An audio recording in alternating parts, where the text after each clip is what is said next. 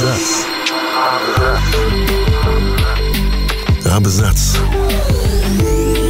О книгах и писателях.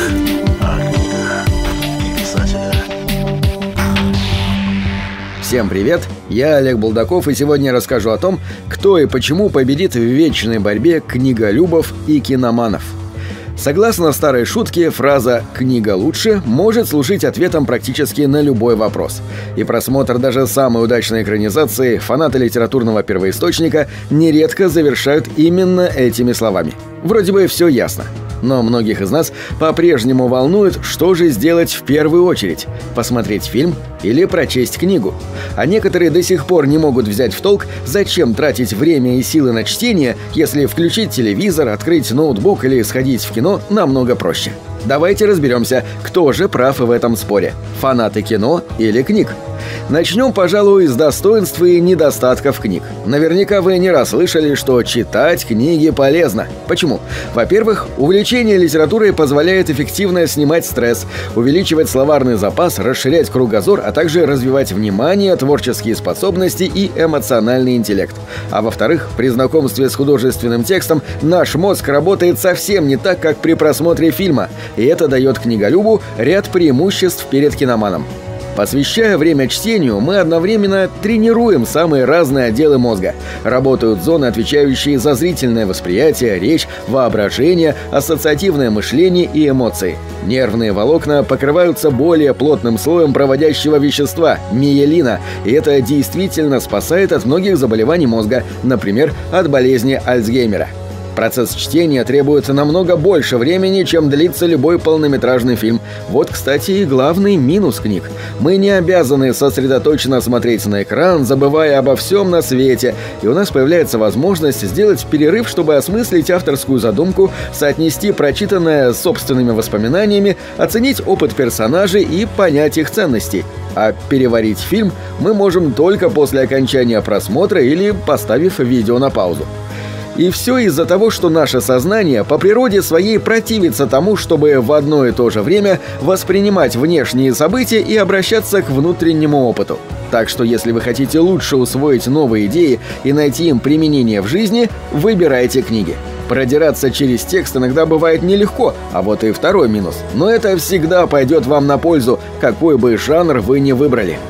Если при чтении мозг активно работает и тратит на это море энергии, то просмотр фильма помогает ему отдохнуть. У зрителя нет необходимости распутывать клубок из сюжетных нитей и пытаться понять, чего же хотел автор. Можно расслабить извилины и просто идти по тому пути, который проложила съемочная группа. С одной стороны, это печально. Никакого простора для воображения.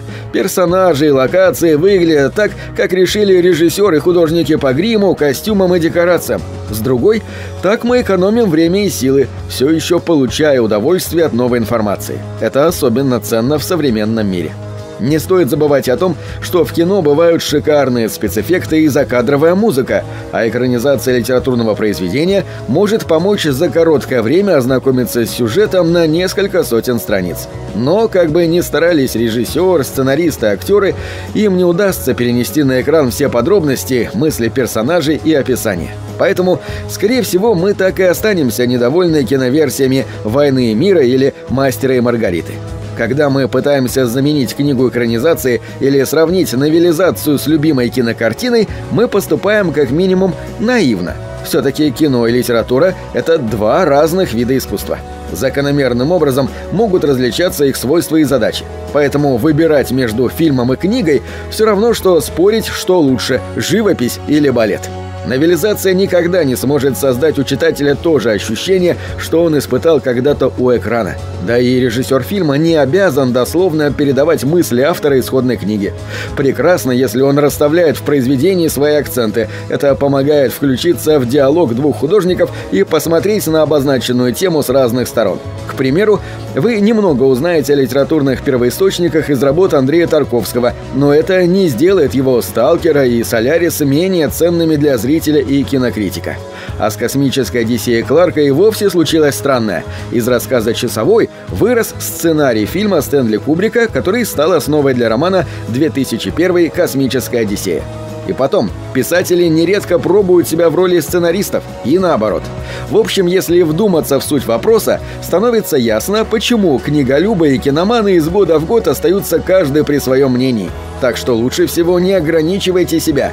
Читайте хорошие книги и смотрите интересное кино. Только тогда вы получите и пользу, и удовольствие в полном объеме.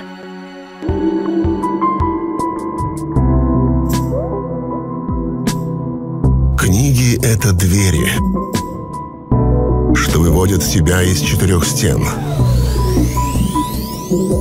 С ними ты проживаешь другие жизни, а свою умножаешь в тысячу раз. В тысячу раз. Тысячу раз.